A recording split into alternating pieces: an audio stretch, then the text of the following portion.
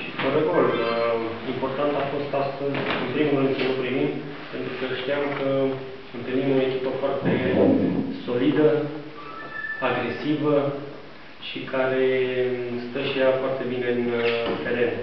Știam că jocul se poate decide la o fază fixă, la o acțiune, eu știu, eu, din punctul meu de vedere, cred că am avut mai multe ocazii ca ei, dar uh, vedeți cum e fotbalul de final, a avut și ei o situație foarte bună și chiar uh, puteam și să pierdem. Oricum, felicit jucătorii, au depus un efort, uh, un efort mare, am încercat să-i desfacem, cred că nu ne-a avantajat nici astăzi, nici uh, terenul.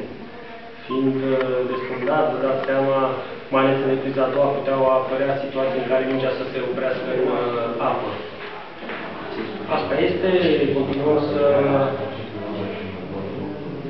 eu știu, să încercăm să strângem cât mai multe puncte, urmează și un joc la Miodeni, o echipă cu fotbaliști destul de buni, care au activat la nivelul Ligii 1. Și pe total, eu sunt uh, foarte mulțumit, dar cred că în același timp puteam câștiga astăzi dacă eram un pic mai atenți în uh, atac. Și după părerea ta, a fost sau n-a fost un gol? După părerea mea, ok, uh, noi ne numim Damila Măciuca, dar și ei sunt aceste recași, dacă îi să luăm. Și nu chiar uh, în ziua de astăzi, după cum observați, tradiția chiar chiar a fost un drept al uh, locurilor care erau în clasament, locul 2 și cu locul 3. Și cred că asta s-a văzut și în uh, teren, sunt două echipe foarte bune. Nu vă românesc ce derby pe spun? Care sunt adevăratele derby? Nu am de spus în ziua de astăzi. Lumea a rămas cu lucrul ăsta de derby din perioada anilor 80-90, pentru că numai Steaua, Dinamo și astea erau derbiurile campionatului. Acum, vedeți, au apărut mai multe echipe care pun probleme și la nivelul Ligii 1 au apărut CFR, a apărut Vaslui, echipe puternice care oricând pot să câștige și ele campionatul. Așa că cuvântul de derby rămâne numai prin prisma tradițiilor, tradiției anilor uh, post-decembrist. Dar Turcia, România a fost un derby al grupei? Turcia-România, da, și a fost din punctul meu un derby pe care l-am câștigat și care ne oferă mari șanse să prindem cel puțin bară. S-a plăcut cum a arătat uh, România în meciul cu Turcia? Știți ce am fost surprins? Că, în general, fostul meu antrenor, să zic așa, Victor Pițurcă, din ce am văzut eu până acum în jocurile echipe naționale, a jucat tot timpul mai defensiv, să închidă bine spațiile, să nu dea nicio șansă adversarului. Dar ieri chiar m-a surprins, au jucat sus și ei, au pus presiune pe adversar și cred că rezultatul până la urmă este unul meritat pentru curajul care l-a avut. E Victor Pisuca în era schimbării? Să schimbă?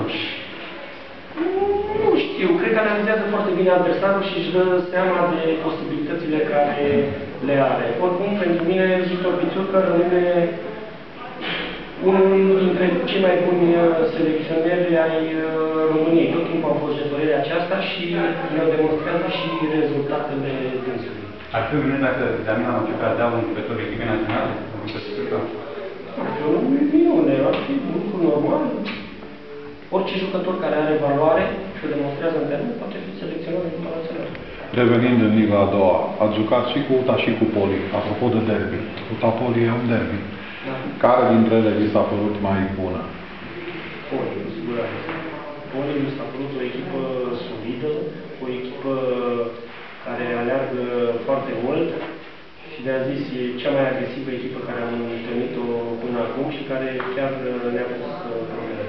Așadar, rezultat echitabil sau am uh, mulțumit și cu un Da, punct sau pot să a spun, da, pot să spun rezultat echitabil, echitabil, dar zic eu că la ocaziile care le-am avut în prima repriză a lui Popa, în fața porții cu poarta goală sau ăsta, poate meritam și noi o victorie. Dar, pe total, eu zic că e ok.